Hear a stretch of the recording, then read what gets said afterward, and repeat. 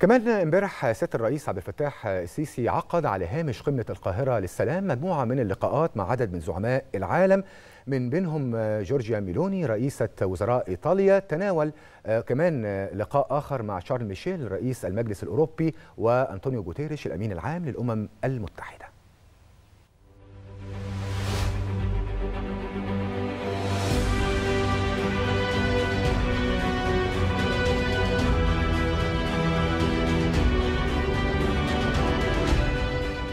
على هامش قمة القاهرة للسلام والمنعقدة بالعاصمة الإدارية والتي دعت الدول العربية والإقليمية والدولية للتشاور والنظر في سبل الدفع بجهود احتواء الأزمة المتفاقمة في قطاع غزة.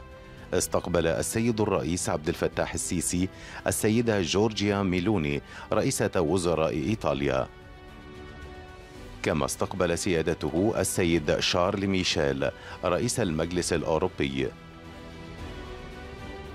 وكذا السيد أنطونيو غوتيريش الأمين العام لمنظمة الأمم المتحدة.